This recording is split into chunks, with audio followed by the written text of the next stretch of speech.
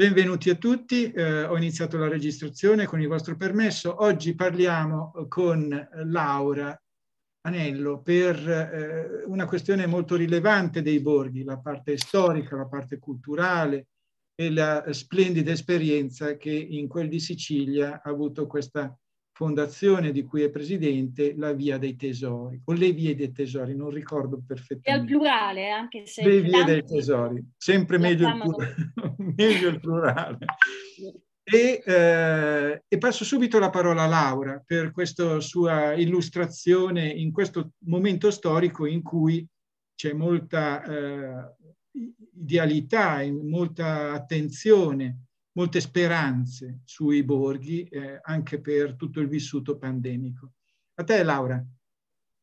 Grazie, grazie a tutti. Um, io parlerò un po' a braccio in realtà perché è talmente in questo momento materia viva quella di cui ci stiamo occupando che eh, probabilmente è, è, meglio andare un po' per eh,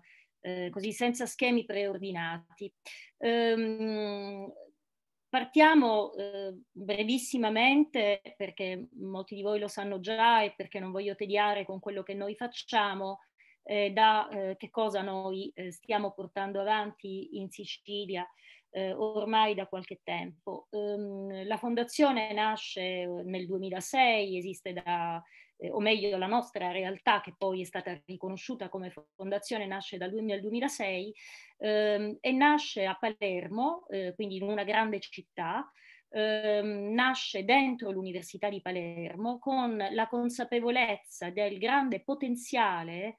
eh, della cultura, di tutto quello che si elabora dentro le istituzioni culturali che spesso purtroppo resta dentro eh, cerchie di addetti ai lavori eh, non diventa patrimonio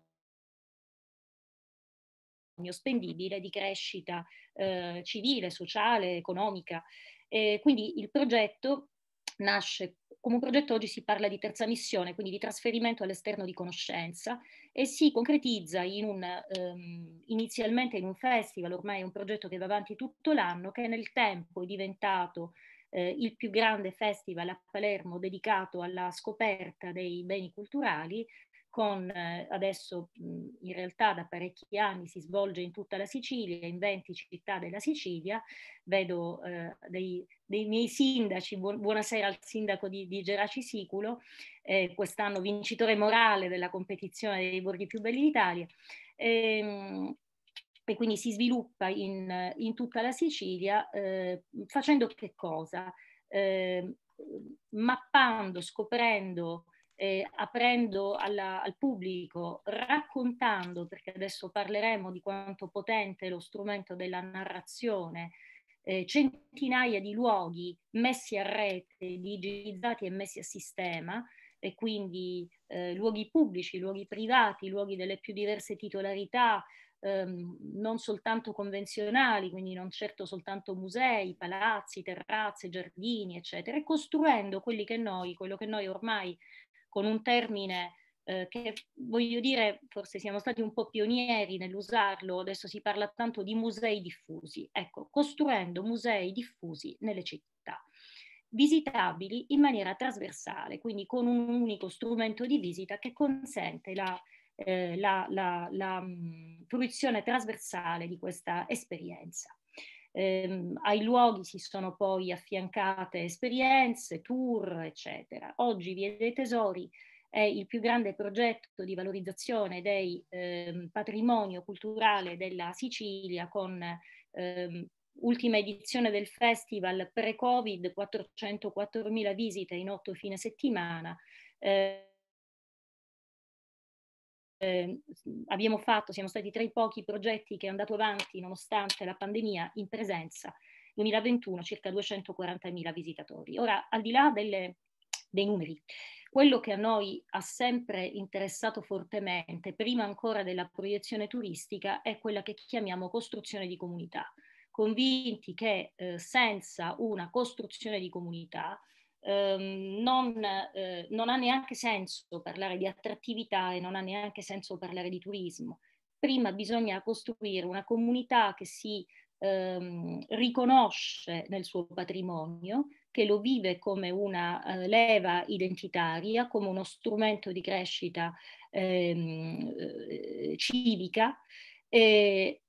nel tempo Via dei Tesori è diventato anche un attrattore turistico, naturalmente per tutti coloro che arrivano e vivono, hanno la possibilità di vivere eh, delle città eh, tutte aperte, fruite, raccontate e messe a sistema.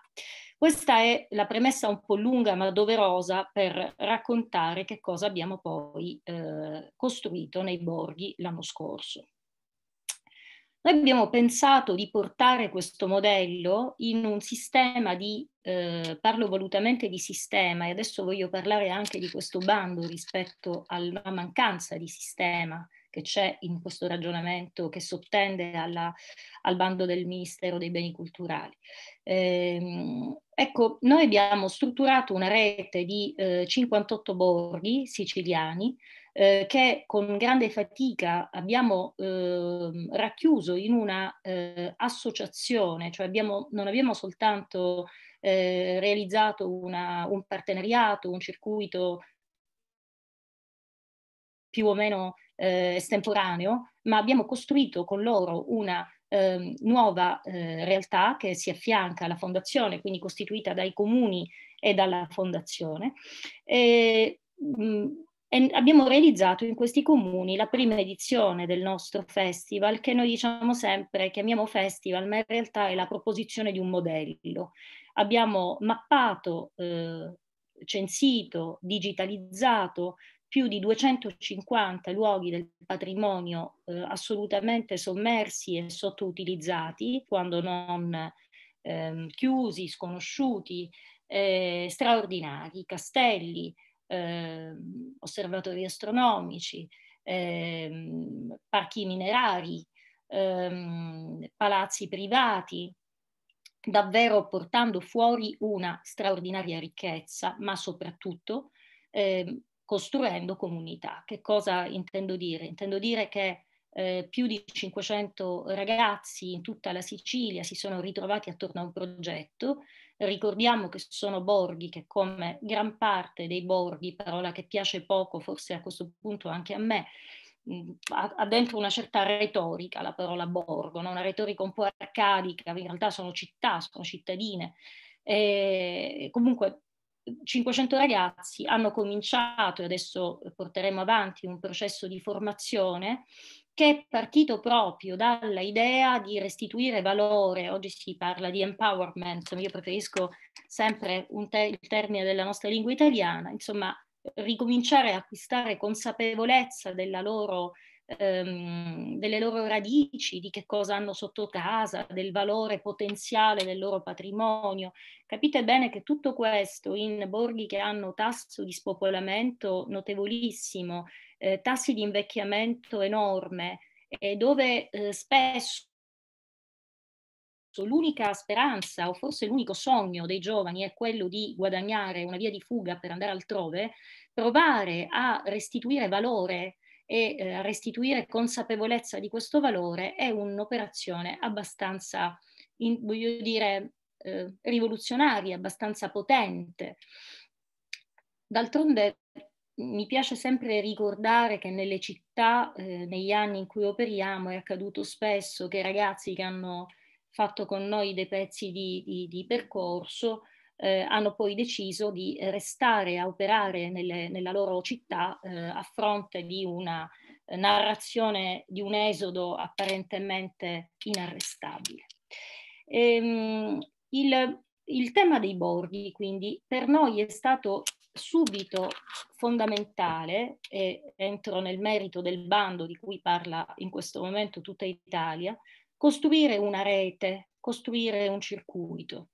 Um, consapevoli che um, soltanto fare rete anche um, a livello interterritoriale può spezzare quella logica di campanile che in realtà eh, per molti eh, di questi comuni è stata una logica eh, da un canto ehm, eh, certamente come dire, aggregante a livello di comunità, ma anche molto penalizzante perché um, un alto livello di conflittualità, una scarsa capacità di collaborazione, una visione spesso mh, non troppo eh, eh, disponibile a eh, intrecciare ehm, partenariati, eh, a ragionare in termini di, eh, di, di, di, messa a sistema di risorse. Um, questo lo si dice anche letterariamente di quanto la Sicilia sia fatta di grandi individualismi e di poca capacità di mettere a sistema risorse.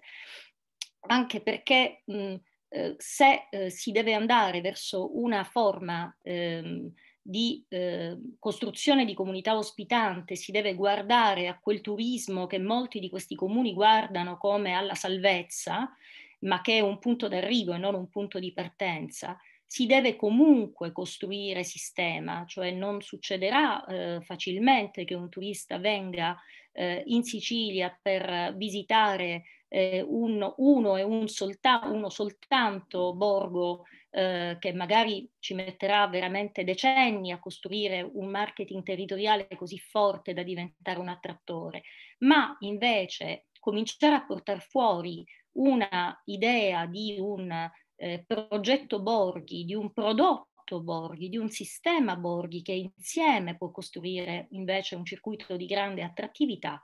eh, si tratta, credo che sia una, una, strada, una strada vincente. Ehm, questo è quello che ehm, mentre aspettavamo di cominciare questo incontro ehm, ci dicevamo, al di là della linea A eh, del, di questo bando su cui ormai si sono scatenati un po', un po tutti, perché immaginare di ehm, eh, estrarre con procedure peraltro abbastanza spesso ehm, incomprensibili una sorta di vincitore di una 20 milioni di euro eh, dall'alto, peraltro. Notate il paradosso.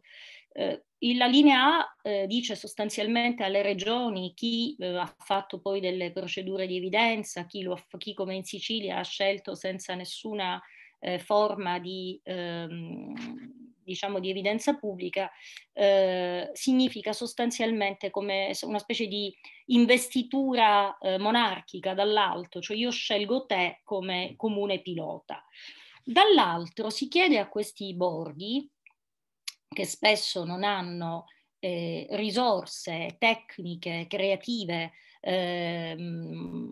neanche operative, eh, di eh, invece eh, costruire una logica di partenariato pubblico-privato, quindi una logica molto evoluta, una logica che parte dal basso, che parte da una possibilità di collaborazione eh, trasversale proprio nelle, nella coprogettazione di interventi, sono processi che sono di solito molto molto lenti, si chiede ai comuni di farlo in due mesi e di fare questa progettazione dal basso. Quindi da un canto il Ministero eh, con la linea A eh, designa un fortunato vincitore, dall'altro dice ai comuni eh, costruite progettazioni dal basso e portate avanti eh, i progetti in questo modo. Ehm,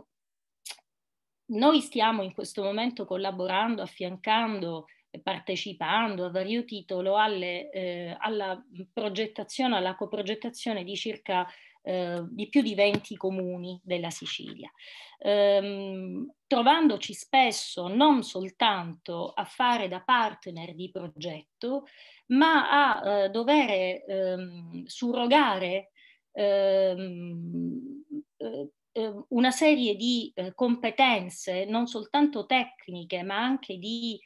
di, di riconoscimento di vocazione che ciascun comune eh, si trova a dover fare per esprimere una proposta che sia una proposta eh, che risponda agli obiettivi ambiziosi di questo bando, perché sostanzialmente si sta dicendo ai comuni, a piccoli comuni, tagliati fuori sostanzialmente da 70 anni da logiche eh, di sviluppo, eh, inventatevi nel giro di un paio di mesi una eh, attività che si badi bene, parte, vede la, la cultura come strumento di rigenerazione, va benissimo, ma non è soltanto un bel progetto culturale, è un progetto che deve fare eh, sviluppo, occupazione che deve essere sostenibile nel tempo, che deve, de- che deve creare occupazione e che deve rendere nuovamente un borgo attrattivo. Quindi si dice sostanzialmente a un comune devi inventare una startup di impresa, ma condivisa, collettiva, attraverso un partenariato, che funzioni oltre questo benedetto 2026, quando le risorse eh, a fondo perduto che ti vengono date, eh, eh, quando appunto questo intervento si concluderà. Insomma, capite bene che è una sfida, eh, è una sfida non semplice, ehm, su cui si stanno intrecciando eh, diverse ehm, dinamiche, eh, dal, eh, dalle grandi, eh, dai colossi insomma, che vengono a portare, che arrivano su tutti i territori a portare una progettualità sostanzialmente eh, modulare, sempre identica, eh, con la mm, legittima eh, aspirazione delle imprese a eh, scalare, a rendere scalabili dei progetti, a espandere il loro business, eccetera, e, e una um, forte eh, dinamismo, eh, ma ripeto, probabilmente eh, insomma, eh, adito con la necessaria, eh, con, con, tempi molto, molto ridotti, eh, di mh, invece soggetti che nel territorio provano a fare, a fare sistema. Um, io vi racconterò, se riesco a condividere, il, un, do, un, piccolo documento che eh, abbiamo, eccolo qui, vediamo se ci riesco, così vi racconto anche. Eh, allora, posto, condivide lo schermo. Ecco. Non so se la... Sì, si vede bene. Perfetto. Allora partiamo dall'inizio.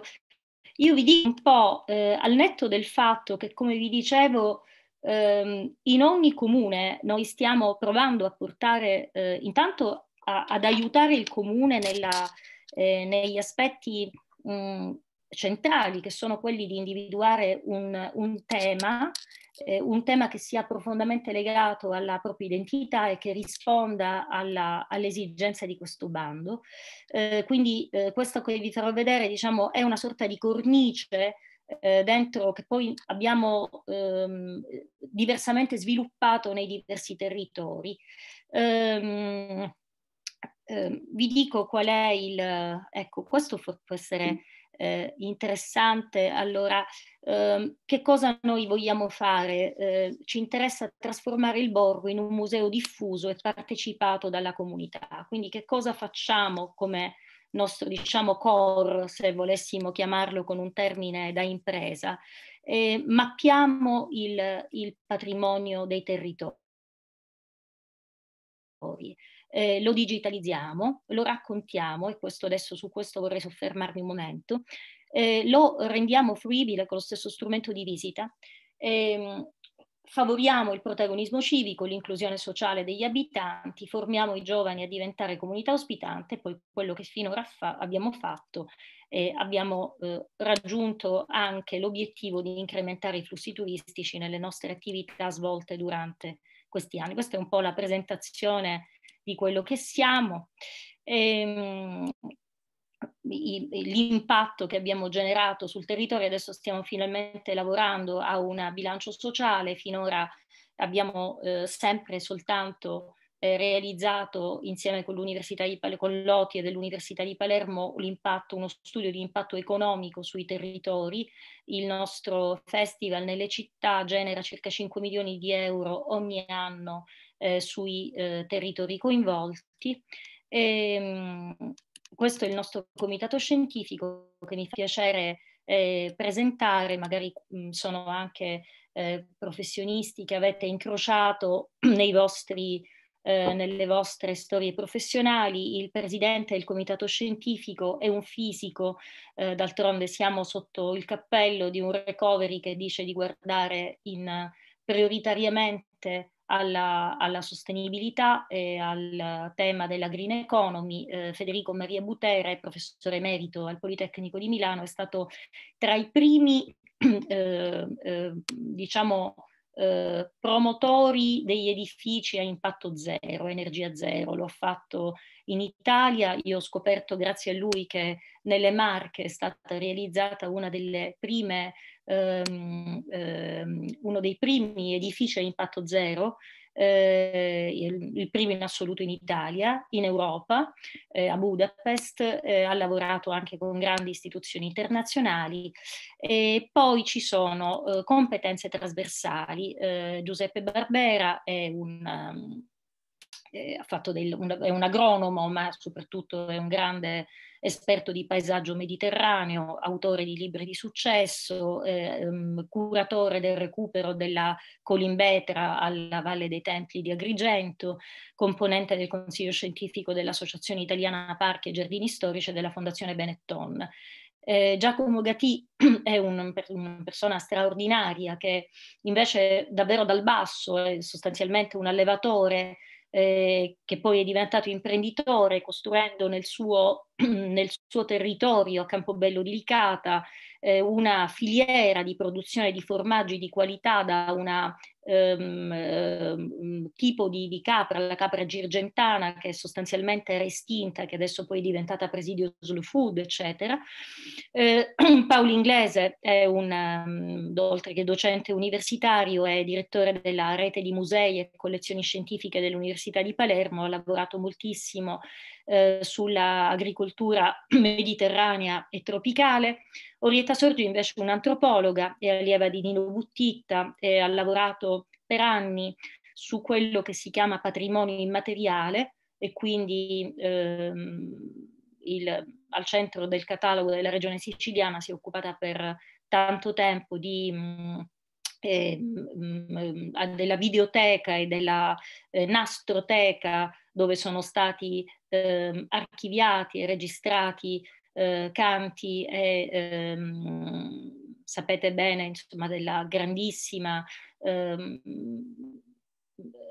ricchezza eh, siciliana in termini anche di canti di lavoro, di canti di, legati alle attività contadine, legati alle attività della pesca, legati ai momenti della vita sociale. E Pier Filippo Spoto lo avete già conosciuto perché si ha, ha fatto un, uh, un, webinar qualche settimana fa con voi, eh, davvero pioniere del turismo esperienziale relazionale. Io sono rimasta eh, a bocca aperta quando nel suo paesino di poche anime di Sant'Angelo Muxaro ho visto che cosa è riuscito a mettere su, non solo in termini numerici, 4.000 visitatori l'anno prima del Covid, in un paesino che apparentemente avrebbe poco da raccontare secondo diciamo una logica canonica e che invece lui ha trasformato davvero in un luogo di incontro, di comunità dove i visitatori, che lui preferisce chiamare ospiti, trovano case aperte, eh, possibilità di fare il pane eh, nei panifici, eh, possibilità di andare nelle case, ma insomma questo ve l'ha raccontato lui e quindi non mi dilungo. Ehm,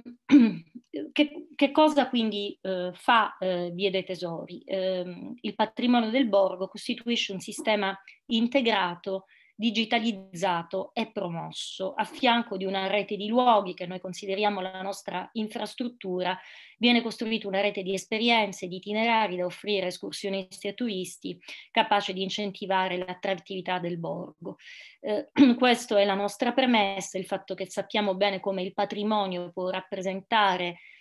eh, una leva di tendenza epocale eh, per i borghi italiani e nello specifico per il sud. Mm, non dimentichiamo che parliamo di territori, parlo soprattutto di ciò che conosco, la Sicilia, ma anche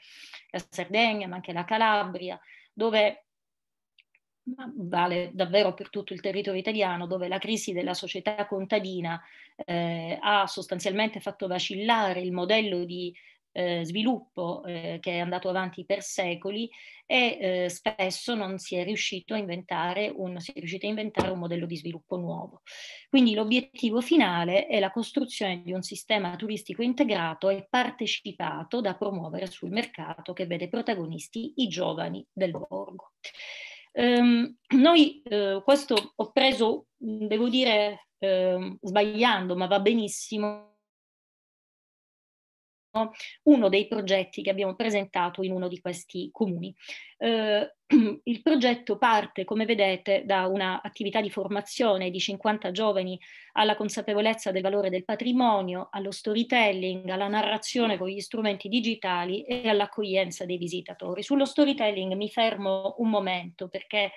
lo devo almeno al mio essere giornalista, eh, attività che eh, resta eh, per me ehm, non soltanto importante ma centrale anche in quello che faccio adesso. Um, avete sentito, l'ho già raccontato forse anche in questa sede una volta, um, il luogo che ha avuto più successo nella storia del festival, che ha aperto um, chiese eh, bizantine, mosaici straordinari, ehm, palazzi nobiliari, splendori, eccetera, è stato eh, invece un luogo di ehm, fatto di quattro pareti eh, scrostate, ma quel luogo che è il rifugio antiaereo eh, che si trova a Palermo sotto l'edificio comunale, quando è stato aperto ha ehm, portato eh, circa 15.000 persone in un solo fine settimana, perché quello era un luogo di comunità, era un luogo che ehm, per mh, qualsiasi ehm, cittadino in quel momento raccontava un pezzo della sua storia, di una storia che lo riguardava, di una storia che riguardava suo nonno, suo padre. E, ehm, e questo racconto che noi eh, abbiamo, abbiamo, avviato e continuiamo sempre a sostenere attraverso eh, mediatori culturali, esperti del patrimonio, eccetera, si arricchiva eh, continuamente di contributi dei visitatori che arrivavano, che non erano visitatori, ma qualche volta li abbiamo chiamati visitatori proprio per far capire quanto protagonisti fossero degli stessi luoghi che attraversavano. Ecco, la narrazione è un potentissimo amplificatore di interesse, sia quando ehm, più, eh, non voglio dire banalmente, ma più nella consuetudine del mio mestiere, eh, ehm, ci occupiamo appunto di raccontare sui giornali, eh, sui media, quello che, ehm, che vale la pena raccontare, quello che consideriamo di interesse pubblico e collettivo, sia quando, quella, quando la narrazione viene invece utilizzata all'interno di uno spazio e diventa una narrazione condivisa e, e, e collettiva. Um, questa, um, eh, dopo questa attività di formazione, eh, l'attività che segue è una mappatura partecipata dai giovani e dalla comunità tutta dei luoghi di interesse storico-culturale eh, turistico e dei cosiddetti tesori viventi del borgo, così li chiamiamo. Eh, devo dire che già nella prima edizione del nostro, del nostro festival eh, abbiamo scovato eh, personaggi eh, straordinari. Um, parlo del, vado propriamente, del, uh, uh, sulle Madonie c'è uh, l'ultimo, si chiama Petrus, questo signore fa l'amanuense, credo che sia uno dei pochi rimasti eh, a, a, farlo. Ehm, in una cittadina che si chiama Burgio c'è una fabbrica di campane che esiste da 600 anni ed è una delle pochissime in Europa dove ancora si fanno le campane eh, con me, un metodo antico, tradizionale, artigianale. Eh, ci sono gli ultimi marmorari, ci sono ehm, competenze e, che portano con, con, sul, sul, sul, dentro nel loro ventre secoli di, di storia e di, e di, cultura, perché di cultura stiamo parlando. Dopodiché questo, questo, eh, questi giovani che noi formiamo eh, vengono eh, chiamati a realizzare eh, itinerari ed esperienze turistiche eh, ovviamente in collaborazione con le realtà presenti, inutile dirvi, ma qua insomma, spe- insomma per chi siciliano non è, quando si evoca per la Sicilia si pensa soprattutto al buon cibo, al buon vino, quindi naturalmente molte di queste esperienze poi attraversano eh, aziende agricoli, agricole d'eccellenza, attraversano eh, laboratori artigianali, attraversano eh, insomma tante buone cantine. Ehm, poi abbiamo in, da tempo scelto di passare alla realizzazione di audioguide, quelle che chiamiamo audioguide partecipate dei luoghi, anche qui non sono delle audioguide asettiche che ci raccontano ehm, il dettaglio di un affresco, ma sono audioguide che noi realizziamo eh, spesso con il coinvolgimento di, eh, di, di, di gente del borgo convinti che ogni luogo, come vi dicevo prima, è diverso a seconda di chi la racconta, a seconda di chi l'ha vissuto. Quindi mh, è proprio in fondo una raccolta di memoria orale che lì trova una sua ehm, codifica e una sua, ehm, diciamo, eh, la possibilità di restare, di permanere. E poi naturalmente il borgo viene inserito nel nostro circuito che ha una eh, ormai eh, ampia community, eh, parliamo di circa 85.000 follower su Facebook, noi mandiamo la nostra newsletter a 40.000 persone ogni settimana, eccetera. E poi ci sono gli aspetti tecnici, la piattaforma digitale, eh, il coupon digitale che adesso fa un po' sorridere perché ci siamo abituati alla, al Green Pass, ci piaccia o meno, e quindi il QR code è diventato un,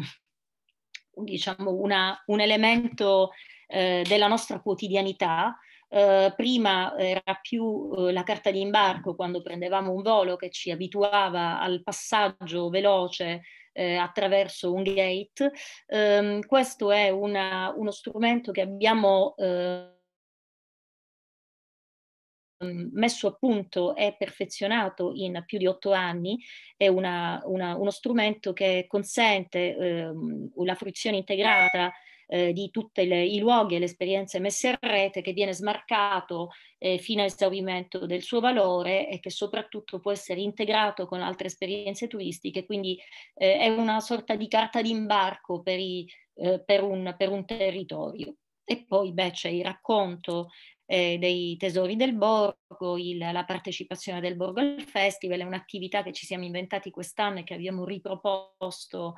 mh, sempre, eh, è il tema del contest. Attraverso un contest noi scegliamo eh, un restauro, un intervento di rigenerazione urbana ehm, eh, a, mh, mm, ehm, eh, grazie al ricavato della vendita dei coupon del festival. Noi non abbiamo mai voluto eh, realizzare esperienze gratuite, attività gratuite, eh, pur mantenendo sempre ehm, ehm, diciamo, eh, ehm, contributi ingresso alle attività eh, con costi più che inclusivi, si parla a volte di un euro o di due, che però per noi sono il segnale di un patto eh, non soltanto del riconoscimento del valore di quel che si fa e di quel che si vede, ma di un patto preciso tra il cittadino e il visitatore, il cittadino visitatore, il turista, che eh, eh, come dire, partecipa con consapevolezza a un'esperienza, e però ehm, il, il, i coupon del festival ci servono poi per eh, interventi di restauro e di rigenerazione, quindi producono, continuano a produrre come una catena positiva interventi sul territorio. Ehm, allora, di questo lo chiudiamo, vediamo se... Sì, eccomi. Eh, questo è eh, a grandi linee eh, un progetto base, eh, nel senso che eh, su eh, altri territori stiamo eh, concependo, mh, contribuendo alla nascita di ehm, spazi di racconto eh, come, non so, faccio qualche esempio che però forse può essere anche interessante condividere. Um, proprio sulle Madonie c'è uno, uno dei pochissimi, anzi l'unico comprensorio al mondo dove ancora si coltiva la manna, che per tutti voi, per tutti coloro che sentono parlare di manna, è il cibo biblico no? che, viene, uh, che, viene, che cade giù dal cielo per, in Egitto, durante la fuga in Egitto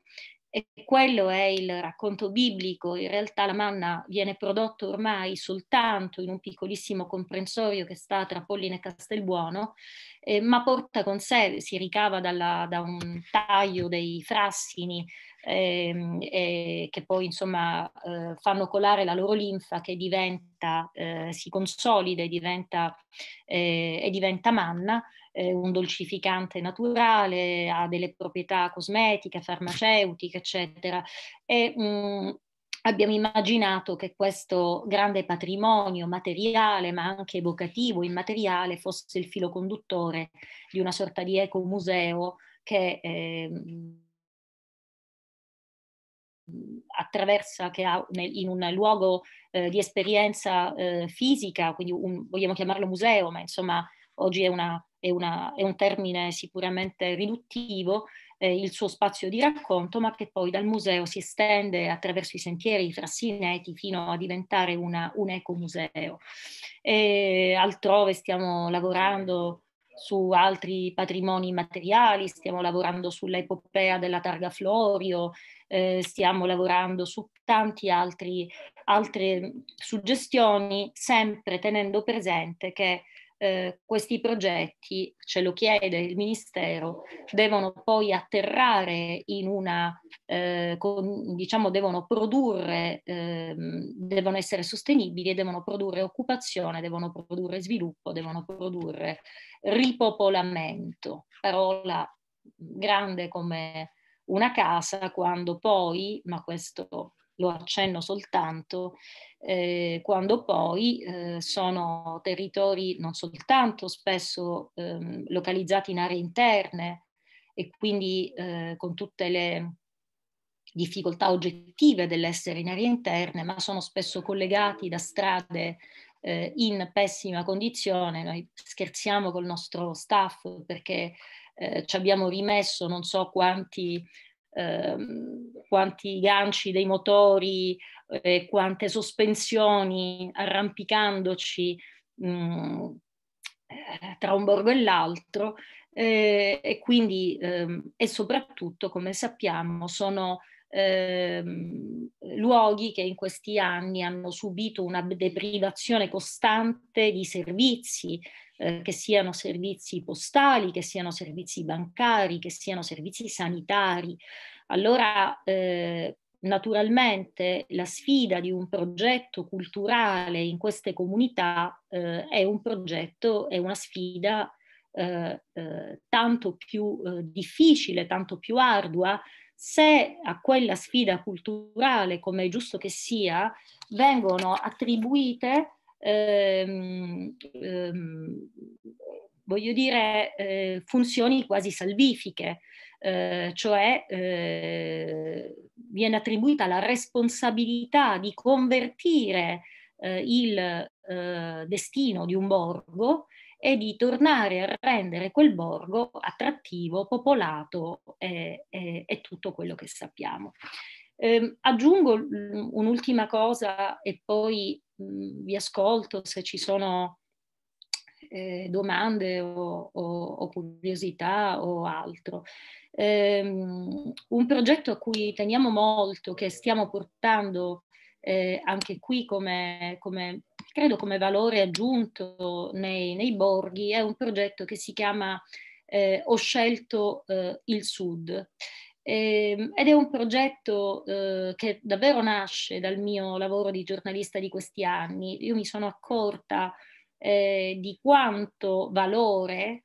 eh, di quanta innovazione, eh, di quanto coraggio ci sia eh, nel sud, specie in un sud ehm, se vogliamo dire fuori dalle grandi città, quindi se vogliamo dire periferico, certamente nei borghi, di ehm, eh, gente che fa delle cose eh, bellissime, spesso in mezzo a mille difficoltà, eh, nel turismo, nell'agricoltura, penso alle bellissime ehm, eh, strutture che ho visitato dove fanno agricoltura idroponica, penso a, alle, a, tutto quello che in termini innovativi è stato fatto nel mondo, nel mondo del turismo, ma veramente tanto. E credo che in questo momento ci sia un deficit di narrazione fortissimo rispetto a questo sud che, eh, diciamocelo francamente, se, oscilla spesso nella narrazione collettiva tra un Sud ancora ehm, improduttivo, ehm, spesso assistito, spesso clientelare, o d'altro canto in un Sud, diciamo, eroico, ehm, da eh, aiutare, sostenere. Ehm, eh, ecco, io credo che tra l'uno e l'altro eh, modo di raccontare questo Sud c'è ehm, una, una, grande narrazione da fare di chi al Sud è rimasto, chi al Sud è tornato, perché c'è un grande flusso di gente che al Sud torna e torna dopo aver fatto esperienze, torna a portare innovazione e idee eh, non parlo dei South Workers, che i nostri amici di South Working, ehm, con cui lavorano i nostri amici di South Working, cioè gente che al sud lavora ma lavora per imprese del nord. Parlo di gente che viene qui a portare, eh, viene qui, cioè torna qui o resta qui a fare eh, innovazione e progetti. E allora questo progetto che ci è stato finanziato per eh, un pezzetto, la startup dalla Fondazione con il Sud, in questo momento eh, sta censendo 50 eh, censendo, raccontando e producendo audiovisivi sulle prime 50 storie che abbiamo, eh, abbiamo individuato, che costituiranno un network che presenteremo a breve proprio all'Università di Palermo, eh, dentro un progetto dedicato al genio di Palermo. Non so se sapete che il genio è una sorta di nome tutelare della città che viene ancora prima delle patrone e poi della patrona Santa Rosalia, che certamente almeno di nome conoscete. È un nome laico molto antico che ha un nome bellissimo perché parlare di genio significa parlare di eh, eccellenza, di merito, di innovazione. Eh, ecco, questo progetto adesso lo porteremo in ciascuno dei borghi, dei comuni con cui stiamo collaborando, ehm, immaginando che la diffusione, la disseminazione di buone pratiche sicuramente attivi anche, attivi anche una, dico una parola che è una parola forte, che è la parola speranza che però è una, una, una parola doverosa, eh, doverosa sempre, doverosa forse in questo, in questo frangente eh, storico, in cui certamente eh, questi territori hanno una possibilità, scusate che ho acceso la luce perché non, non, non mi vedevate quasi più, e, e, quindi certamente ehm, eh, seminare buone pratiche, raccontare di chi ehm, ce l'ha fatta, di chi ehm, ha costruito, eh, nonostante un contesto non sempre favorevole, nonostante una storica difficoltà di rapporto con le amministrazioni pubbliche, nonostante voglia dire spesso tutto quello che si muove dal basso, ma non vale soltanto per il sud, ma vale più per il sud che per il nord, sia molto, ma molto più avanti di quanto invece eh, eh, ancora eh, insomma del, del, della, della, condizione che vivono molte amministrazioni pubbliche. Io dico sempre che se si contaminasse, se questo portato di innovazione sviluppato dal basso contaminasse positivamente eh, il pubblico, l'Italia farebbe un grande passo avanti. Ecco, questo per concludere questa occasione che ai borghi adesso viene data eh, attraverso questo bando, eh, credo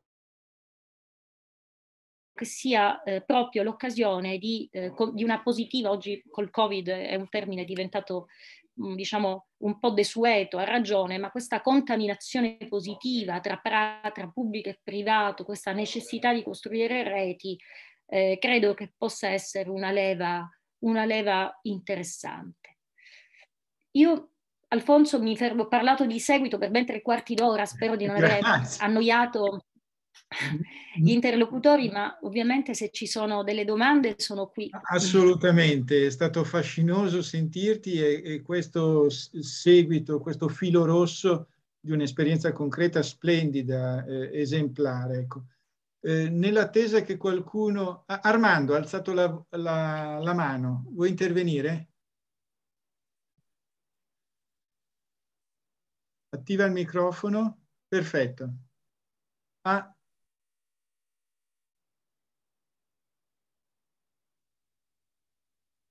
eh, devi, devi forse, forse eh, staccare le cuffie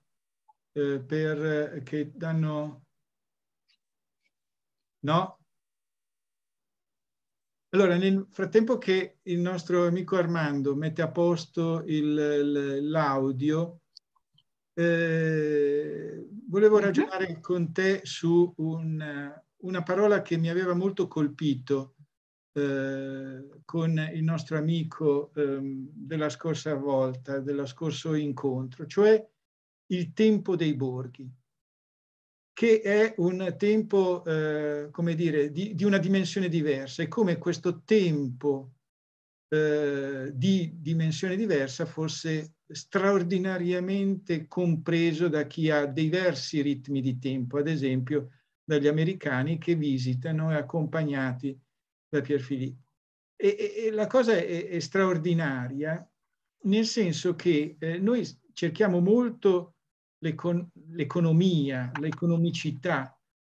ma forse eh, ci doveva essere più attenzione al, alla vita sociale. Quello che ci ha dimostrato la pandemia e che ha rotto eh, un, una sorta di tabù, cioè la, la, la città è bella, a prescindere. No, la città non è bella, può diventare un carcere, può diventare una, un anonimo. Quello che offre il borgo è una socialità totalmente diversa, certamente è svantaggiata. Allora, eh, io spero proprio che non, non, non, i progetti non, facciano diventare i borghi qualcosa, come dire, eh, solamente di eh, turismo, ma come hai iniziato te, di vivere eh, insieme agli altri in una dimensione più umana. Ecco. Questo, questo percorso secondo, è vero che eh, ha, come dire, eh, costruito un po' anche la vostra esperienza,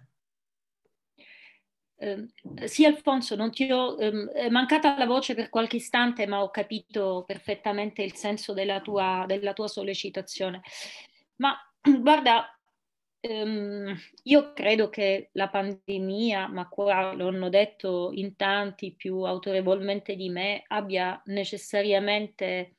eh, provocato ehm, uno, uno, shock sulla nostra società. Ehm, poi se diventeremo migliori, chissà, qualcuno sostiene di no e forse non siamo diventati migliori perché siamo partiti dal,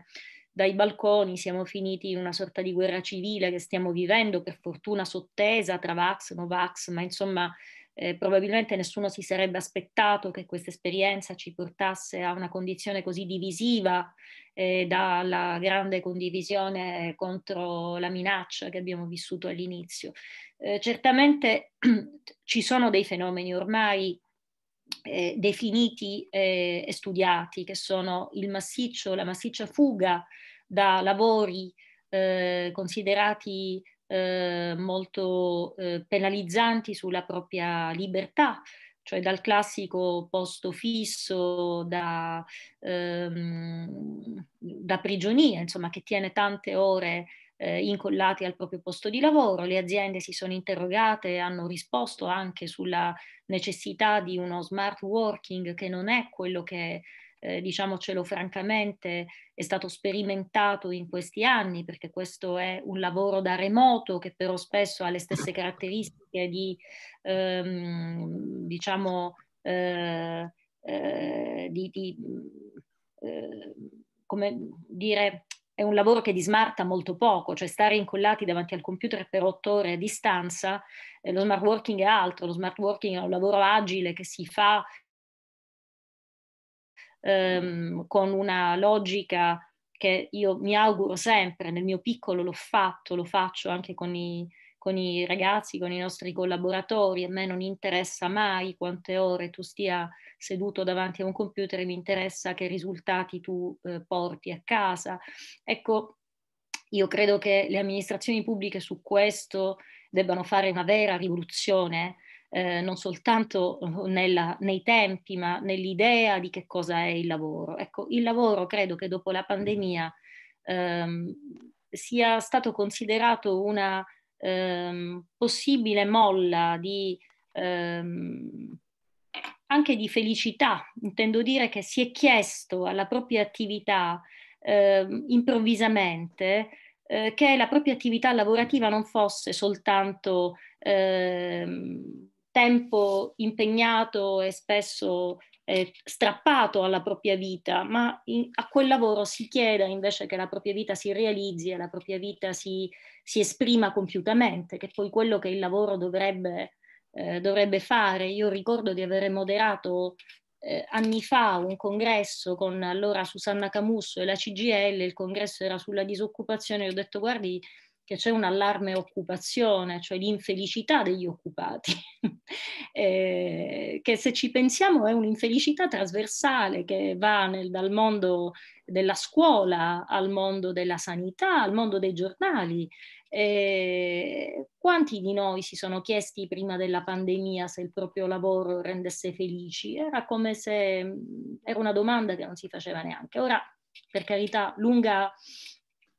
eh, così pensamento, come si dice in Sicilia, per dire che certamente eh, oggi eh, la, si è capito, se una cosa ci ha fatto capire la pandemia è che non siamo eterni, questa illusione eh, di immortalità che l'Occidente, l'Oriente è molto più bravo di noi, in questo coltiva rispetto e ha coltivato rispetto a un rapporto con la morte sostanzialmente eluso, sostanzialmente non affrontato, eh, invece ce lo, lo, abbiamo dovuto affrontare, quindi capire che il tempo non è infinito, eh, capire quindi che la propria vita è preziosa e devi, eh, e devi eh, realizzarci dentro tutto quello che desideri, non è troppo lontano dal tema dei borghi. Perché? Perché immaginiamo, e a volte a torto, che questi luoghi possano diventare luoghi dove riprendiamo socialità, qualità della vita, benessere.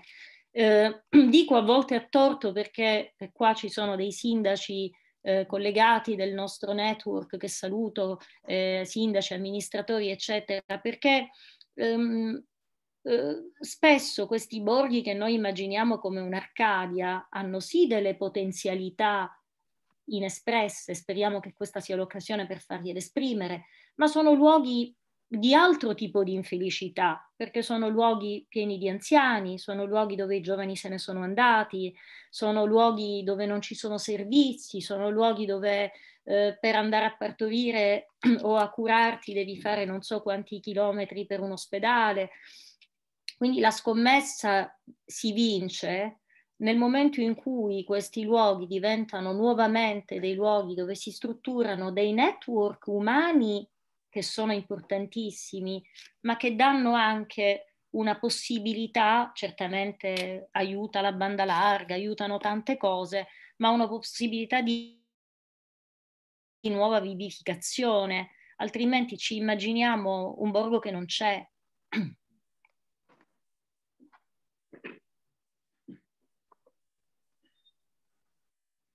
Non ti sento, Alfonso, è il microfono chiuso? Sì, scusa. Eh, grazie Laura per questa elaborazione di una, di una domanda che no, non era esattamente chiarissima e sono andato proprio distinto invece che tu hai elaborato in maniera veramente mh, interessante. Eh, Armando, forse... Eh, Posso? Mi sentite? Sì, adesso sì. Ok, no, eh, avevo problemi con il microfono, non, non, è che non l'avessi acceso. Allora, ehm, grazie. Ehm, grazie innanzitutto Laura per il, la bella testimonianza e diciamo sicuramente è molto interessante anche perché io sto portando avanti un progetto eh, proprio rivolto alle aree interne, ai borghi, in una importante banca. E quindi qua eh, sto cercando di raccogliere informazioni su questo e sicuramente eh, il tema eh, per me appunto eh, di quanto, eh, di quanto da una parte eh, viene sprecato del, del, delle ricchezze ambientali e sociali e che quindi non, non si riescono a valorizzare eh, di quante opportunità vengono sprecate perché eh, i giovani vanno via dai borghi ma eh, spesso vanno a finire nelle, nelle, grandi metropoli a fare dei lavori assolutamente precari quindi diciamo eh, con tutto, tutto, tutto quello che, che, ne sappiamo. E quindi il tema è da una parte eh, consumare lo spreco presente nelle aree interne in termini di risorse inutilizzate e consumare anche lo, lo spreco di opportunità eh, di, di, tutti questi giovani che appunto vanno nelle grandi metropoli che non riescono a trovare e, e che invece hanno una, una, ricchezza che non riescono a valorizzare. Ed infine la cosa più assurda, eh, io diciamo lavoro nel, nella finanza e quindi consumare lo spreco di eh, mancate opportunità, perché in giro non è un tema di soldi, cioè di, di, di finanziamenti, di, di, soldi in giro, di liquidità è, è strabordante, quello che manca, mancano i progetti, mancano dei progetti sostenibili, attenzione, io parlo ovviamente dei progetti che quantomeno devono avere una istituzione del capitale e quindi una, e degli interessi, quindi ovviamente non sto parlando di erogazioni eh, a fondo perduto. E quindi il tema è eh, riattivare eh, diciamo, tutti questi circuiti che in qualche modo sono, eh, sono bloccati e sicuramente, ecco qua mi riaggancio, uno da il tema di avere uno storytelling, eh, io e quindi volevo un pochino capire meglio eh, come eh, riuscite a, a, come posso dire, rendere cioè, costruire uno storytelling in maniera sistematica, scusami questo mio approccio abbastanza aziendalistico, eh, sul, sui borghi. Eh, dall'altra, ehm, diciamo, e quindi per, per, per, renderlo possibile, dall'altra come eh, avete fatto tutto un lavoro di digitalizzazione eh, come se avete fatto un'elaborazione da un punto di vista culturale eh, della presenza nell'infosfera per non eh, diciamo ehm, perdersi nell'infosfera ma utilizzare l'infosfera per poter eh, eh, ristabilire dei, dei, dei, degli incontri ehm, diciamo grazie a tutto questo aspetto culturale eh, degli incontri eh, dal punto di vista fisico, cioè quindi utilizzare, cioè perché il tema del, eh, cioè il digitale permette di dare, eh, di, di, permette tanto, però deve essere in qualche modo, diciamo, eh, deve essere tagliato sulla, eh, sulle, sul tessuto, sul tessuto dei comuni italiani che sono dati dalla, dalla grande diversità, mentre normalmente l'infosfera è, facciamo un approccio che, che va bene uno per tutti e, e buonanotte e quindi eh, se avete fatto elaborazioni su questa cosa qua, cioè come utilizzare il digitale per riuscire a, a far leva da una parte trasmettere i, i tesori delle, dei borghi siciliani, dall'altra eh, riattivare anche le relazioni dentro i borghi e tra i borghi. E, ehm, e poi, diciamo, una mia curiosità, io ho visto che ad esempio stanno, diciamo, alcune, eh, ci sono dei progetti europei sulla gamification dei territori tipo Alghero, non so se, eh, cioè, sa, non sai se state pensando di fare qualche cosa, ecco.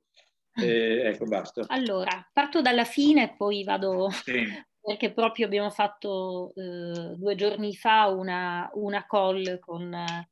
Ehm, forse lo conoscerai, tanto non c'è nulla di... con Francesco Moneta dei Roundtable, eh, Federcultura, eccetera, che lavora, sta facendo un progetto eh, con Fabio Viola, eh, quindi del tuo museo legato a una possibilità di valorizzazione congiunta della, del patrimonio UNESCO in Lombardia. E quindi abbiamo ragionato su, anche perché noi abbiamo, ci siamo appena ehm, tra virgolette, federati con un'organizzazione gemella in Sardegna che si chiama Monumenti Aperti, con l'idea di ehm,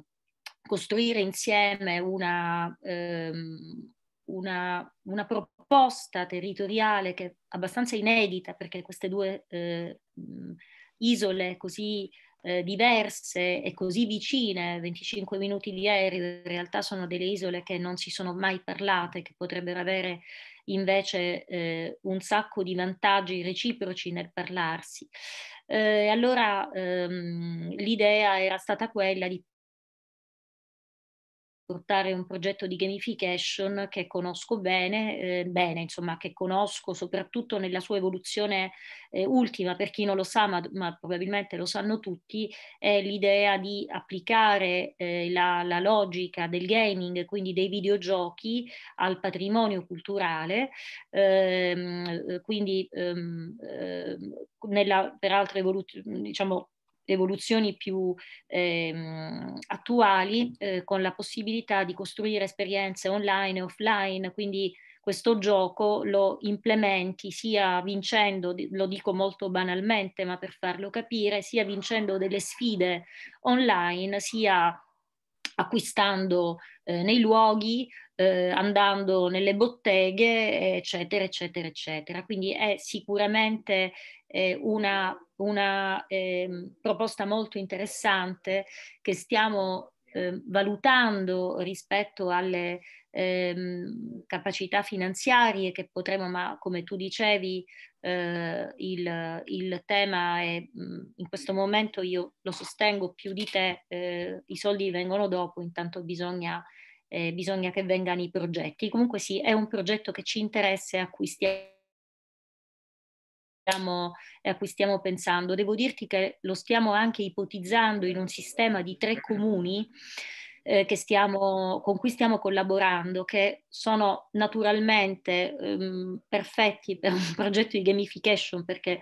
ci sono dei personaggi storici che li, ami, che li animano, che sono, io ho un figlio tredicenne, che sono perfetti, io già li vedo nelle vesti dell'eroe uomo e della, e della principessa salvare, quindi sono già perfetti per costruirci sopra uno storytelling. Andiamo alla prima domanda, come tiriamo fuori lo, lo storytelling? Io ti rispondo con il nostro lavoro, cioè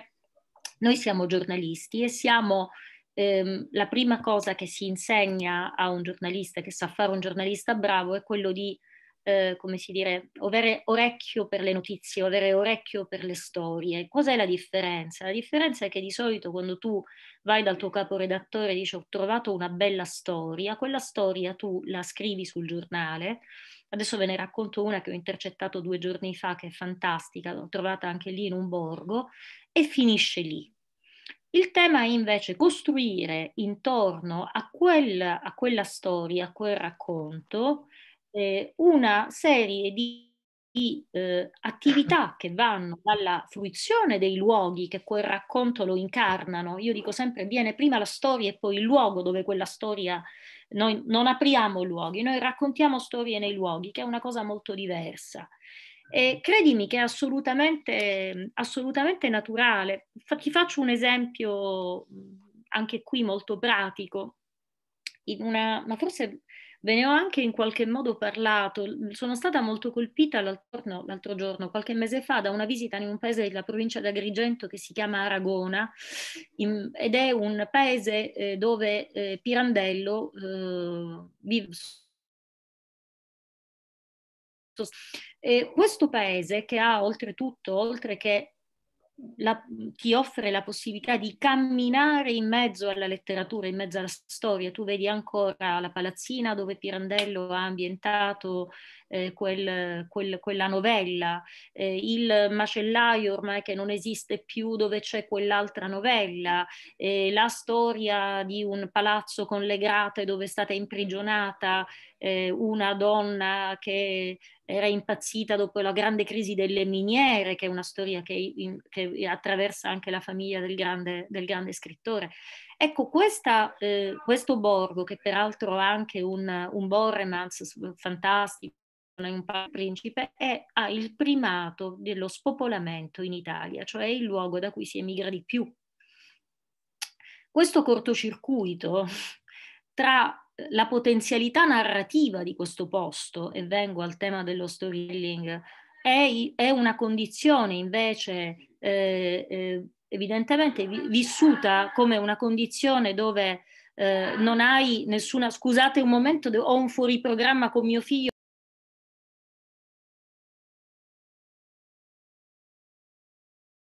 Perdonatemi, eh, Siparietti da madre. Eh, Ecco, il, ehm, il, cortocircuito di questa enorme potenzialità narrativa e questa fuga precipitosa, eh, non vi dico, c'è anche in questa eh, comprensorio il parco minerario che racconta una storia pa- pazzesca, cioè le miniere siciliane sono state fino per almeno 50 anni eh, un cardine eh, economico eh, non soltanto eh, siciliano e non soltanto italiano, ma mondiale, fino a quando sostanzialmente l'Inghilterra, ve la dico molto banalmente, ha, ha, ha cambiato i termini del gioco, ma eh, qui c'era un'imprenditoria che veramente governava il mondo. Ecco, tutto questo, adesso si comincia a parlare un po' di più dei Florio, perché c'è stato il volume di successo dell'Auci, ma accanto alla, alla, a quella narrazione ce ne sono moltissime altre che sono valore. Tu sei un uomo di finanza e di aziende, quindi eh, parlo in termini di valore, anche di valore, di valore, economico, non soltanto di valore culturale, di valore quando ti sento, eh, non ti sento perché hai il... Um... Scusami, eh, scusami il, il, tema è certamente, io intendevo oltre storytelling l'aspetto specifico, proprio come trasformarlo in valore, valore economico, se non succede come a Ragona, no? Parco letterario e, tutta la, e, la, e la gente scaffa, ecco, era questo. Ecco, eh, come trasformarlo in valore economico? Esempio, torno sempre ad Aragona. Aragona ha un parco minerario pazzesco, recuperato interamente dalla sovrintendenza, ma vuoto, non gestito, non raccontato. Non lo, vuoi, vuoi andare a visitarlo perché mm, non c'è neanche un cancello, nessuno eh, ha pensato di costruirci sopra un'attività che ehm, eh, come dire, eh, crei servizi in questa struttura, lo renda, lo gestisca, attragga eh, turismo da tutto il mondo perché è un unicum assoluto. Eh, questo significa però mh, mm, eh, il, la, la, gli aspetti diciamo di gestione, di valorizzazione, per quello che mi riguarda, vengono dopo i contenuti. Se tu non hai un contenuto sotto, Qualsiasi azione di marketing è confezionamento del nulla, abile per quanto vuoi, ma, non, ma, ma è un gioco che dura molto poco. Quindi il tema dei contenuti è un tema che sottende, secondo me, a qualsiasi operazione di valorizzazione. Eh, rispetto a quello che dicevi, la digitalizzazione, ma sai, la digitalizzazione per noi non è soltanto fine a se stessa, come credo di averti appena eh, appena eh, raccontato, eh, è uno spazio sicuramente di condivisione di contenuti e di possibilità di racconto, di promozione di territori e di, e di, e di luoghi su vasta scala che altrimenti, eh, ma che è sempre, sempre funzionale alla, eh, alla, all'esperienza fisica, è sempre funzionale all'esperienza fisica. Eh, non so se ti ho risposto Armando, forse soltanto in parte, se non ti ho risposto... Eh, no, no, Ovviamente... certo, il, il discorso del, del, digitale per... Ok, quello infatti sembra che siate abbastanza avanti sul discorso del digitale. Ecco, la, la mia, diciamo, una parte della mia curiosità era relativa proprio, visto culturale, utilizzare il digitale proprio per eh, fare anche uno storytelling eh, che permetta attraverso il digitale ritornare sul, eh, sul, sul fisico, ecco, cioè, valorizz- cioè, perché il tema... Sì. Eh, scusami, prego. No, no, anche qui perdonami, ti ho interrotto, ma per fare un esempio molto pratico, pandemia, no? Tempo di pandemia. Eh, noi devo dire, questo lo riconosco, ma non a me, credo a tutti noi. Ehm, la scelta più facile era spostare il progetto sul web, come hanno fatto tanti, forse tutti. Eh, noi ci siamo ehm, attrezzati per eh, realizzare delle audioguide dei luoghi che, mh, mm, perché erano proibite, come sapete, il, eh, le visite, non, in quel momento non le visite in presenza, i luoghi erano aperti, ma non potevano esserci visite guidate, che per noi sono il fondamento, appunto, il racconto di, un, di uno spazio.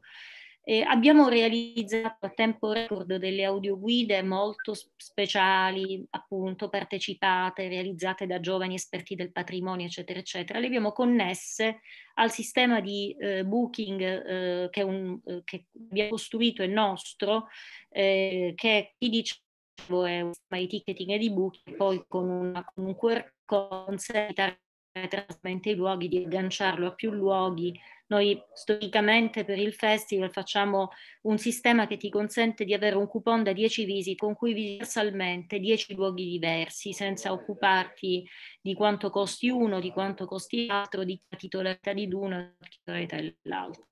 In quel caso smarcavi il coupon, il coupon è connesso alla guida che eh, ti raccontava quello spazio e quindi l'esperienza fisica in realtà è stata possibile eh, esclusivamente grazie alla, alla, alla, al digitale, grazie alla tecnologia. Eh, potrei farti mille eh, altri esempi, però per noi eh, la, è sempre stato un uso funzionale alla... Poi ci sono mille altre, noi stiamo lavorando alla realizzazione di una ehm, di uno spazio immersivo e di racconto al porto di Palermo. Palermo non ha mai avuto un museo della città eh, e pensa che Palermo, come sai, ha una storia estremamente complessa e stratificata e quando parlo di museo della città parlo di uno spazio che racconti in breve, ehm, molto come dire, trasversale, quindi a più pubblici, che racconti dove, si, dove, eh, dove sei finito. Nel senso, eh, bene, io poi posso approfondire dalla preistoria alla, al Liberty, al Novecento, eccetera, però devo capire, per me è stato illuminante l'esperienza di un piccolo museo ad Amsterdam che si chiama Museo dei Canali, Vaga, andavo, ero ad Amsterdam da tre giorni, ed Amsterdam è una città facile mil, rispetto a Palermo, con certo. servizi certo. e, e, anche con una storia molto più semplice da raccontare. Al terzo giorno ho beccato il Museo dei Canali che in quattro stanze di un'esperienza immersiva mi ha raccontato che cos'era Amsterdam. E da lì innesti poi le esperienze fisiche. Quindi mh, io credo che l'interazione tra, le due, eh, tra i due piani, tra le due dimensioni sia poi insomma declinabile davvero in ogni modo. Grazie, grazie, grazie Armando, Armando, grazie Laura. Mi è sembrato di vedere una mano alzata di Alex o mi sono sbagliato? Vuoi intervenire? No, eh, non ti sentiamo. Ecco che eh, forse mi sentite. Adesso sì. Vai, vai. Ora... Sì, sì, va benissimo. Sì. Allora, eh, Laura, grazie perché poi da iscritto all'ordine, dei giornalisti iscritto all'Ordine dei giornalisti dal 1985 come semplice pubblicista, ovviamente ho apprezzato e mi sono bevuto, ho assaporato tutto quello che hai detto. Um, indirettamente volevo um, rispondere anche un po' a, ad Armando perché al di là della bellissima discussione di quello che noi possiamo costruire, eh, sempre borderline su una situazione di storytelling e story selling, il problema è poi dopo la conversione di un'offerta che noi possiamo avere chiamiamola offline e chiamiamola online, su effettivamente un visitatore che alle 23.30 ha una carta di credito e, e, e vuole andare da qualche parte ha lo smartphone in mano. Allora, ehm, indirettamente questa, questa opportunità nasce dagli operatori turistici che sono presenti perché se gli operatori turistici non sono in rete e non c'è una filiera d'accoglienza eh, diffusa eh, e importante che possa accogliere il turista, noi possiamo fare quello che vogliamo, fantascientificamente eh, quello che eh, ha espresso Laura per quello che è stato fatto è proprio fantascienza per molti borghi e molte realtà. Ma se gli operatori non sono partecipi di questi programmi e di quella che è la consapevolezza di una destinazione e come questa possa emergere nella competitività, mobilità, che a questo punto non è nazionale ma è internazionale, perché se io ho 600 euro in tasca devo capire dove voglio andare e la situazione di rimbalzo su qualsiasi offerta che possa essere o su carta stampata o che possa essere su digitale, gaming o meno, alla fine non mi porta da nessuna parte. Quindi la forza in questo momento, eh, dal mio punto di vista, per quanto riguarda la mia opinione, la mia attività, è basata proprio sulla filiera dell'operatore che può fare la differenza. Io a chi alle 23.30 do dei soldi per fare cosa? A prescindere, scusate ho un attimo di Matrix perché ho visto un gatto passare da Scalano. Sì, eh. è interessato ai borghi, è venuto qui ad assaporare queste informazioni. No, questo è stato proprio Matrix, per cui va benissimo. Um, per cui, um, per rispondere indirettamente ed aggiungere qualcosa, ecco uh, che la filiera degli operatori, degli operatori presenti, più o meno distanti, ma che possano comunque creare un'offerta che possa essere attrattiva sia per l'evento sia per l'esperienza, può fare uh, effettivamente la differenza. Questo volevo dire. Grazie, grazie Alex. Se non ci sono altri... Ah, Antonio. Non so se però c'è il tempo per... Eh, se posso diamo, diamo due minuti, fare alcune dai. considerazioni, alcune domande oppure no. Vai Antonio, due minuti ce li possiamo concedere. Eh, innanzitutto volevo complimentarvi sì, complimentarmi con Laura e ringraziarla per eh, tutto quello che ci ha raccontato. E eh, quando sento Laura o quando ho sentito anche per, eh, su altri temi Pier Filippo Spoto e la considerazione che mi viene da fare è che sono veramente molto bravi, no? troppo bravi e, e, questo da un lato eh, non si può che apprezzare questa loro bravura, dall'altro viene da dire poi che i borghi sono 5.000 e i bravi sono decisamente veramente pochi. No? E in un momento in cui, se si fa un attimo riferimento alle situazioni economiche e imprenditoriali,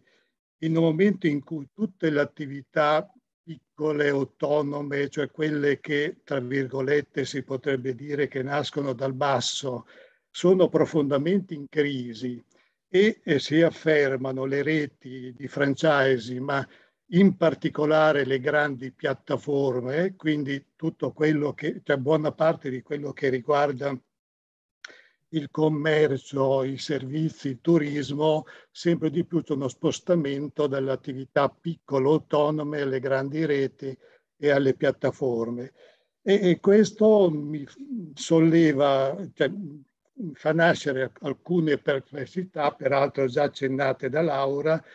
sul fatto che eh, questi borghi, nella situazione in cui si trovano, con la popolazione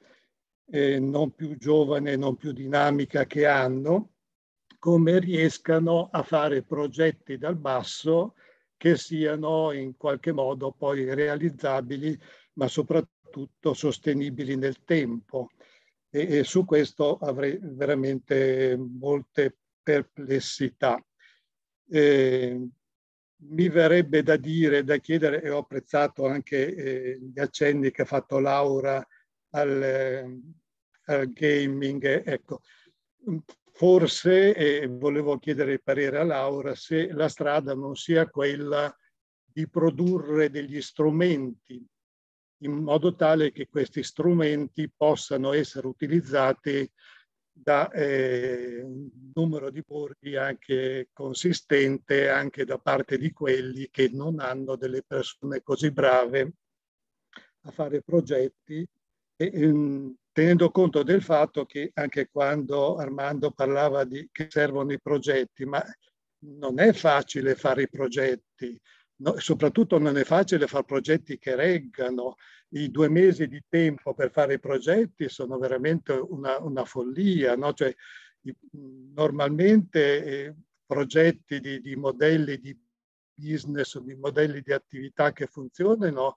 richiedono dei tempi lunghi per metterli a punto, devono poi essere ritarati periodicamente, successivamente nel tempo. Quindi quello che manca e che ogni tanto sostengo in questi nostri incontri è il know-how per questo, eh,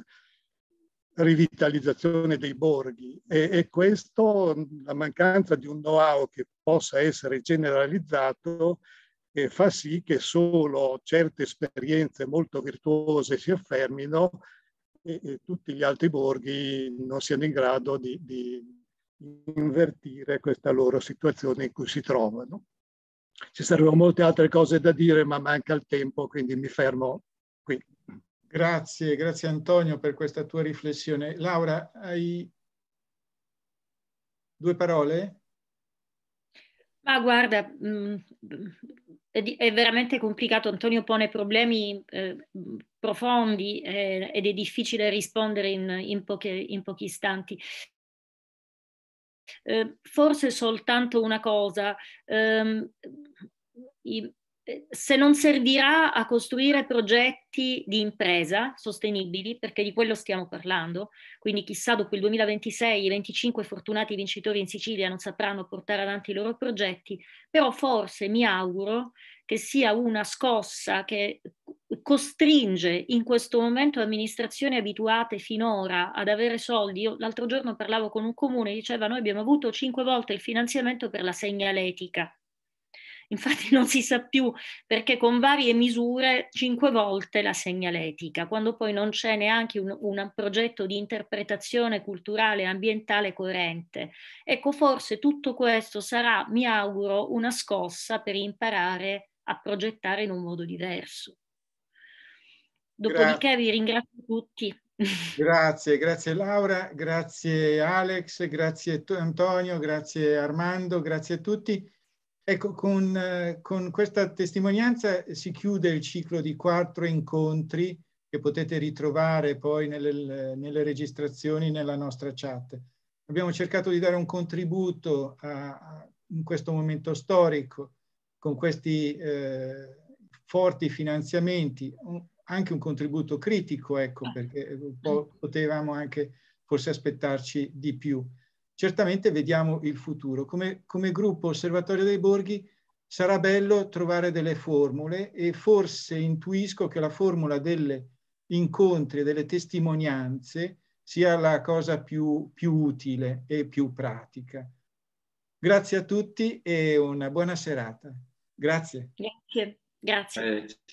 Eh.